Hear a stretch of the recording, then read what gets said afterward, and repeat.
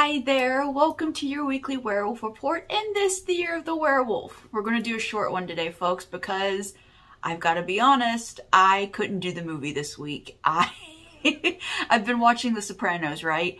And it came time to sit down and play the Russian roulette with the werewolf movies and the Sopranos won. I decided to just keep watching The Sopranos because, look, I love werewolf movies.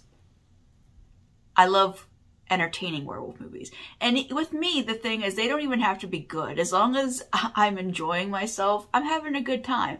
And this year has proven to me that not all of them are even fun. Some of them are just plain awful. And I wanted to watch The Sopranos. But with that being talked about, we'll get back to it next week, I promise. I want to talk about the third Wolf Hunt book, Wolf Hunt 3 by Jeff Strand.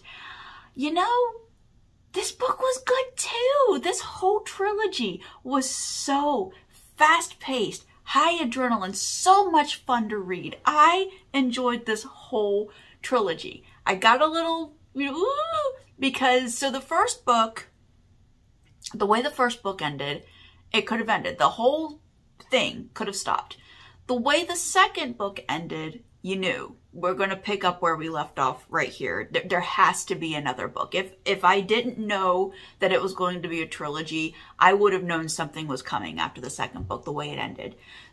And the way things went down in the second book, I had questions. I had questions on what was coming next in the third book, and they were answered. It's just, as a reader, you know, trilogies can be a little bit of a gamble because you get really hooked from that first book. That first book is setting up the world rules, you're getting to know your characters, and it's the good ones. They're amazing. The first book is always kind of like the heavy hitter. The second book, results can be middling. It's either still good maybe not as good as the first one, or like in this case, it was still great. I like the second book almost as much. It, the difference is not a big difference in how much I like the first and second book. And then, kind of typically, in my experience as a reader at least, the third book can kind of go off the rails a little bit. This is when we're having to do a mad scramble to tie everything together, to finish the story, to tie up loose ends, and it can get a little wonky and sometimes it's not that great. It is very typical for me as a reader to say, I just didn't like the third book. Now in this one, no, I still like the third book. Of the three, it is my least favorite but again, it's not that big of a difference between one, two, and three. I like them all. We got a little, we did get a little crazy in this one. There were additions of things that were like, but it worked. That's the thing about Jeff Strand. He's so good at this. And I, I I'm purposefully being vague on a lot of things because I don't want to spoil anything. Because I went into these completely blind. I knew nothing about them. I just knew werewolf and reading about George and Lou, these thugs who, you know, when we meet them, they're actually, in the first book, their first scene, they're actually breaking a guy's thumb. That's what they do. You owe, you owe our boss money. We've been hired to come here and break some things until you agree to pay. That's what they're, that's what they are. And they get mixed up in werewolf stuff and it's so great because, okay, you know how in movies I've talked about how much I love that the various ways they shoot the full moon. That's a trope. That is something that is in, I have, I actually, of all of the established werewolf movies that have any sort of substantial budget, the full moon shot is always there. Always there.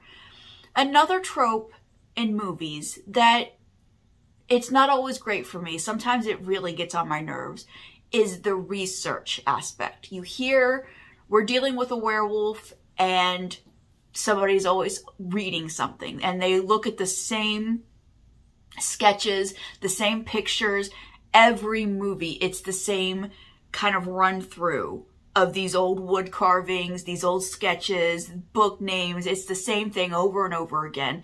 And, you know, you would think the moon would be getting old over and over again, but because it represents something And because there are so many different ways of shooting it, it doesn't bother me as much as the research one sometimes does. It doesn't always, but sometimes it does. And a great thing about this book trilogy is it doesn't have that. This series is so fast and so frantic that it's not, hey, we're dealing with a werewolf. Let's stop and do some research. It's no time, no time. Hit him with a chair. That's the way this goes. And it, they're so fun and they're so great. And the personalities of the characters are so goddamn fun. I,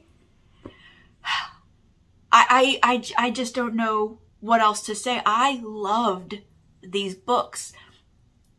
Just loved, not liked, not just merely enjoyed. I am smitten with these books. These books, when I talk about werewolf books, are going to be some of the first that I mention to everybody from now on for the rest of my life. If I'm drawing breath, I'm telling people to read these books. That's how much I liked them.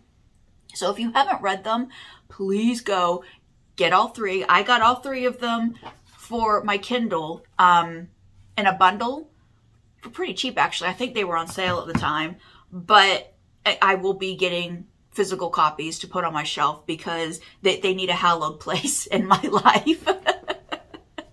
and I don't know. I wonder where next week will take me. Hopefully it'll be as fun.